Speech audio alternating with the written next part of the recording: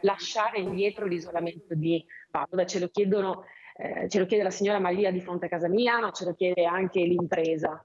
Eh, evitiamo di pensarci soltanto come una piccola realtà di paese, siamo una grande realtà di provincia che deve ritornare a fare baricentro e il tram è soltanto una piccola espressione di quello che potremmo diventare. Un collegamento, mi diceva un anziano signore che è da anni o da decenni che sente parlare eh, di collegamento Padova-Vigonza, mi diceva basterebbe anche un collegamento con una carriola, non basta, non serve il tram perché Vigonza è da così tanti anni che ha eh, questa esigenza frustrata che eh, sente eh, forte questa necessità di collegamento. Partire dai bisogni delle, delle famiglie eh, e quindi considerare non il singolo pezzetto di terra come eh, un'isola, ma cercare di guardare la città nel suo complesso. Quindi apriamo un attimo lo sguardo, cerchiamo di mettere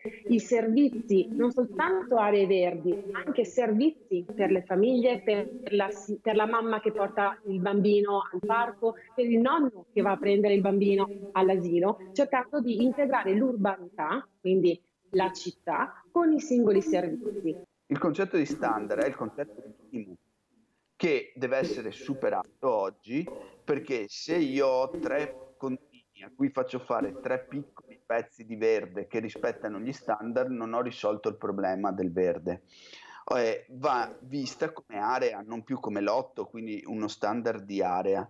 Questa è la vera rivoluzione. Noi a Vigonza abbiamo la possibilità non solo di prometterlo, ma di farlo in tempi brevissimi, perché il nostro PAT, che è il piano dell'assetto del territorio, è, ha ormai esaurito la sua forza.